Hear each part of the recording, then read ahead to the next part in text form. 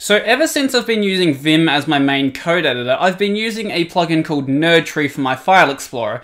And it turns out you don't actually need Nerdtree because there's a plugin for this actually built into Vim. So today we're going to take a look at Netrw and see what I'm actually doing with it. So if you're new to the channel, you know what to do and let's jump right into it. So pretty much every Vim user has probably come across Netrw at some point, even if they didn't realize what it was. So let's just switch over to my main screen, and I'll show you what I mean. So there's going to be times where you've accidentally opened up a folder within a Vim buffer, so let's just see what that actually looks like. Now it's going to look slightly different from what it would normally look like, just because when I open up a Vim buffer, I also have an extra Netrw open, but you would have seen something like this. So come over here, show this again. So you'd see this banner at the top and a list of all your folders. So this is actually Netrw. So what Netrw lets you do is actually open up a folder within a Vim buffer. Then you can do various things like you can, I don't know, say cycle through these different view styles here. You can do other things like, I've got them listed up on a thing right here, so that's why I keep popping over that side. I don't usually use most of the file managery things, but you can also do things like you can delete a directory or delete a file. So if we try to delete something in here, like let's say just press delete on that, it will give me a prompt on that. So do I want to delete it? No, I don't. So you can do things like show and hide hidden files. This directory doesn't actually have any hidden files in it, so it's not going to really do much. But let's just quit out of this and bring up just my home directory. So bring up, is that going to work? Let's see if that worked. Yes, it did. Okay. So we go down to like my ZSH files and all that, ZSH, and we press GH, and then that will actually hide all of those hidden files, and bring them back with GH again. You could also do things like changing the style of sort. So this is sorted by time, sorted by size, sorted by extension, and sorted by name. So that's done with the S key. You know, I'll just bring up screen key. You know, why didn't I think of doing that before? I'm not even really sure why I didn't do that. Anyway, so you press S and you can actually change the sorting style. And if you press R, then you can do a reverse sort. So that works as you would expect for basically sorting, nothing too special there pretty much. And the one last thing I wanted to mention for this is you can do renames as well. So if you want to change this, it's going to use the move command. So rename and move are merged into one thing like they are just on your regular Linux system. So if you want to do a rename and a move at the same time, then you can do that. Now, I, as I said, don't typically use the file managery things, and I'm not going to go into any more of them. I will leave a link to all of the key bindings down below, so if you want to check them out for yourself, go right ahead. I typically just use it as a way to explore my file tree. I'll typically just use LF to modify my file system. That's just the workflow that I've got myself used to. So let's just have a look at my vimrc and basically have a look at what I'm doing because I'm not just running Netrw with its default settings. I've made a couple of changes to it. So the first setting we have in here is netrw underscore banner equals zero. So basically all that does is it just disables this banner over here. So I don't need it, so I just hide it. There's no point showing it. I'm just gonna hide it anyway because it's just, it's a waste of space. I don't really see any point of showing it at all. Then the next one is the actual list style. So if we press I, I don't know if I showed this before. I might have, I just forgot about it. It was like 20 seconds ago.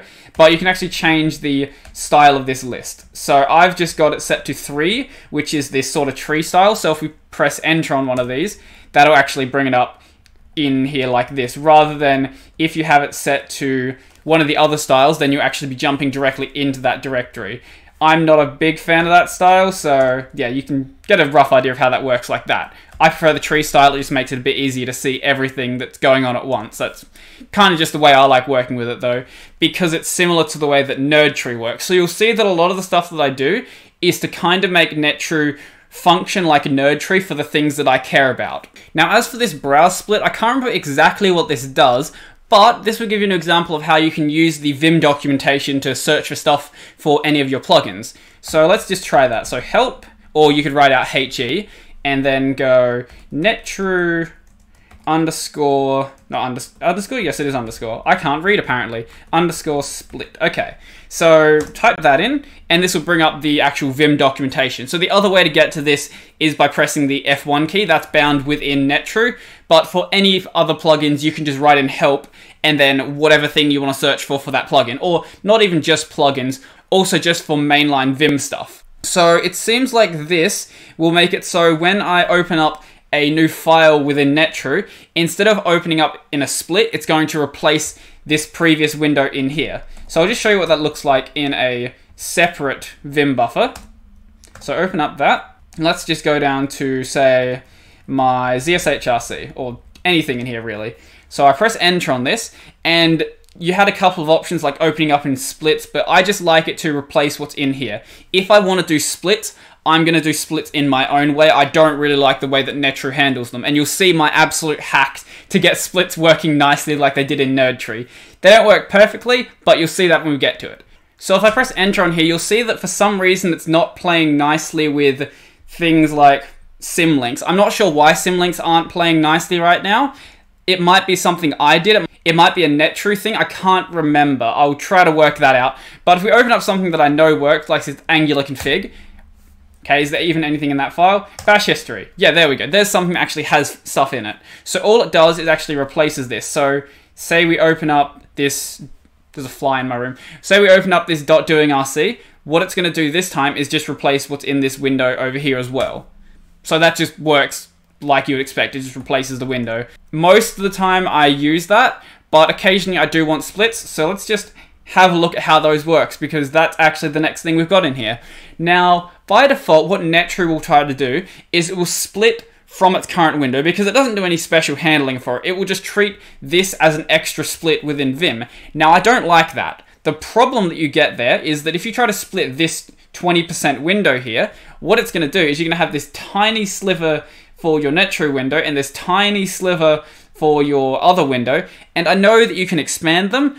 That's that's too much hassle though. What I'm going to do instead is just write an absolute hack to make it work the way that I want it to work. So here's how that works. So basically what I do First off, I'll open up a vertical split using the Netrw method. It doesn't matter if it's a vertical split or a horizontal split because we're not going to use it. So once that's opened, then I'll be focused on that file because once you open up something from Netrw, you lose focus on Netrw and you take focus to whatever you've opened. Now, what I do there is actually get the path of the new opened file and I'll save that in a variable. Then I quit out of that new window because what it's going to do is it's going to try to split the Netrw window and I don't want that. Once I've then closed that new split, it then puts me back on focus on my main window, right? Then we'll open up a split using the normal Vim method and jump over to that one. And you know what? That works perfectly. So that's what I've been doing pretty much since I started using this because it just, it's so much nicer than the way that Netrw handles it by default. I know you can play around with the Netrw settings, but I'm, I really like this hack way more. So say I want to open up, say, this bash history in a split. I can just press capital V on this, and bam, we have a split. Or if I wanted a horizontal split, I can do the same thing. I can press H, capital H, and that opens up a horizontal split. The horizontal split, the way that works normally in Netrw, is it will put a horizontal split in this window here. So you've got this really small one. And as I was saying before, I know you can resize windows. That's a hassle. I just want to do it like this where it's going to work perfectly. I don't want to really think about it. So that's why I do it like this and not really any other method. So next up, I just have a function for my Netrw mappings that I've changed. So I've obviously got those new ones that I've added. So I've got one for toggling Netrw. I haven't actually mentioned this one yet, but basically what this is going to do is it's going to run this function down here. So by default, you can't actually toggle Netrw. What it's going to do every time you try to run the Netrw function or the, the Netrw command, whatever it's called, is it's going to open up a new window of Netrw. This function right here is basically going to check if Netrw is open, and if it's open, it's going to close it. If it's closed, it's going to open it. I didn't write this function myself. I have no idea what half this stuff does, but I found it on Stack Overflow, and Stack Overflow was a great website, so that's why I use this. So I would recommend using this if you want to have toggleable Netrw, if you could write it yourself, but this is just much easier because Yes, you can, as I've said, it is just a normal Vim split, so you can quit out of it normally. That's a hassle though, and you don't want to do that. So yeah, we've got Control F to open and close that basically. Occasionally, I've noticed that it will break on some things. I'm not really sure what's causing it to break. I need to look into that as well. But it will actually open and close it, so it still works. I, I don't actually know what's doing that, so I'll, I'll definitely look into that. The other ones we have in here are for opening a split to the right and opening a split below. And this last one in here is a little bit of a hack to fix a problem the Netrw has. So I don't know if it's just my bindings or what's going on. So if I just show you what it looks like without that fix on there. just open up a new Vim buffer. And let's say we want to open up, I don't know, just anything in here like this, dot doing RC. So if I open that up, then, so we come back over here. If we then press Control L, it's going to bring up the netrw buffer instead of letting me jump back to the file like it's supposed to. I don't really like that it does that. I'm not really sure what it's supposed to be doing either. I thought it would be about like diving into a folder, but if we press Control L on, say, the .cache folder, for example, it doesn't dive into it. It just goes over to another netrw buffer. So I don't really know what the purpose of this binding is. It might just be playing weirdly or it might just be bound weirdly within netrw. However, I don't actually care because I just get rid of the binding. So I just basically remap it to Control W and then L. So if you don't know, that's just the way you jump to a split to the right with the default Vim bindings, basically. Now this next one in here is just to actually make sure that those netrw mappings are run on every single file type. Nothing too special there. We went over toggle netrw already, so I'm not going to go back into that one. And then this next one in here, this is another one that I didn't come up with myself. Basically what this will do is, I'll just show you actually, it's way easier to show you. So if we open up a Vim buffer and we close our main window and there's no other windows left besides the netrw window, basically all it's going to do is just quit out of Vim. I had it configured like this within NerdTree as well. When I quit out of a file, that's when I want to quit out of a file. I don't want to keep seeing my file tree. I know some people use Netrw a bit differently than I do, but for me, I am just using it as a file explorer while I'm coding. And I use Vim for other stuff besides coding as well. Sometimes I'll just have one file open. And because I'm just opening up that Netrw window as soon as I launch Vim, I don't want it to be there for things where I'm only just working on one file basically. And on that note, to make netrw actually open up as soon as I open up my Vim buffer, all I'm doing is this auto command right here. So auto command Vim enter on any file type. I'm calling toggle netrw. So all that's going to do is, regardless of the type of file I open up, I should probably make that so it's just the sort of files where I program on, because those are the only files where I ever actually care about my file tree. So if I'm doing, say, like a a markdown file. I typically don't care about having netrw there, so I might make it so it's just the code files I work on and like the LaTeX stuff and things like that. But for now, it's just going to open up on everything. And then the last thing we have in here is just to make sure that netrw is open variables actually defined, because if you remove this line, it's not going to work properly. It'll still actually open up Vim, but it's not going to let you actually use that variable properly, basically. Now, netrw isn't perfect. So the problem with netrw is it's not really a problem with netrw. It's the fact that nerdtree exists. So because nerdtree is vastly more popular, you have a lot more plugins actually built around the nerdtree idea. So you've got things like your Git built into it, and I don't know if you can get dev icons working on Netrw. You might be able to get them in, but there's also dev icons for Nerdtree and a bunch of other cool stuff that you could use along with it. Now, there are some plugins for netrw, like you have Vinegar. I'm not running Vinegar on my system because I don't really see much of a benefit to it, but there are a few. Most of the plugins for a Vim File Explorer, though, are built with netrw in mind, so you've got to keep that in mind if you do want to run netrw.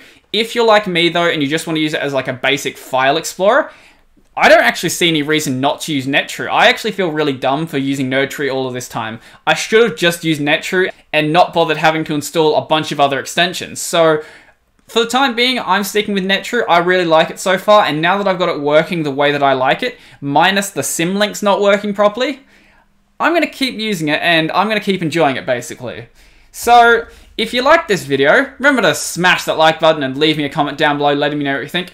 If you want to see more videos like this, then remember to subscribe and ding the bell icon down below because it'll really help the channel out. I'm now aiming for 10,000 subs and any help be really appreciated. Up on that corner, I've got the playlist this video's in, so go check that out if you want to see other videos like this. Down below, I've got my social links, so my Discord and my Telegram. So feel free to check any of those out if you want to chat with me or see video updates.